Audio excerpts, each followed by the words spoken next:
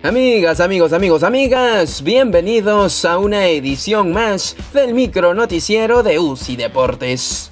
Una vez más, Paolo Guerrero sacó cara por el Perú, ya que este miércoles la Federación Internacional de Historia y Estadística del Fútbol ubicó a nuestro compatriota en el equipo ideal de la década en Conmebol. El atacante de la Blanquirroja fue ubicado como ariete, acompañando en la línea ofensiva a los astros argentinos Lionel Messi y Sergio Agüero. En un equipo donde se puede apreciar además a Neymar, Javier Macherano, Dani Alves y Ángel Di María. El último martes, Universitario de Deportes hizo oficial la incorporación del volante uruguayo Hernán Novik por toda la temporada 2021 y este miércoles el cuadro estudiantil presentó al futbolista de 32 años. El mago se refirió a las expectativas que tiene con Casaquilla Merengue. Es un honor para mí poder vestir esta camiseta, club más grande de, Perú, más gente, eh, con más títulos, así que bueno, agradecido a la, directiva, al cuerpo técnico que, confió en mí. Y bueno, eh, queda de mi parte vengo a, dar lo mejor, a sumar.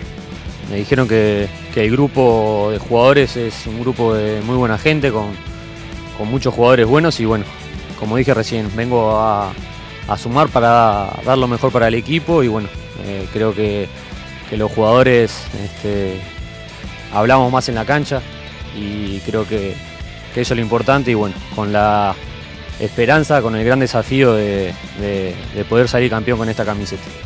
Asimismo, Novik dio detalles de su disposición dentro del campo de juego. mi característica creo que eh, soy media punta.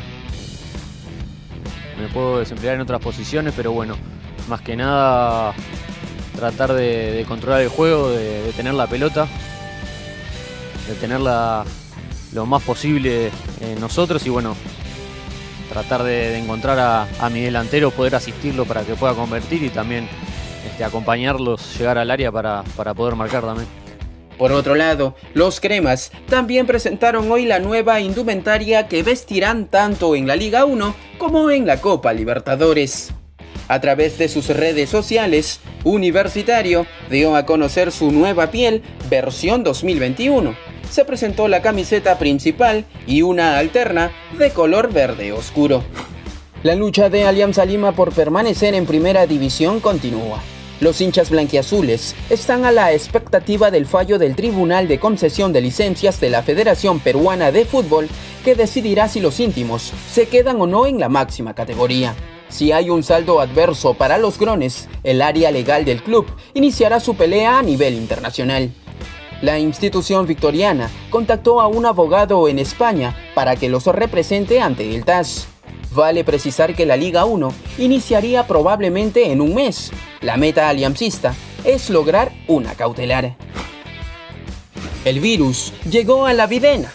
La selección peruana utilizó sus redes sociales para informar que tras las pruebas moleculares, cinco personas del área deportiva dieron positivo a COVID-19. Ante ello, los entrenamientos de los seleccionados que militan en la Major League Soccer fueron suspendidos hasta nuevo aviso.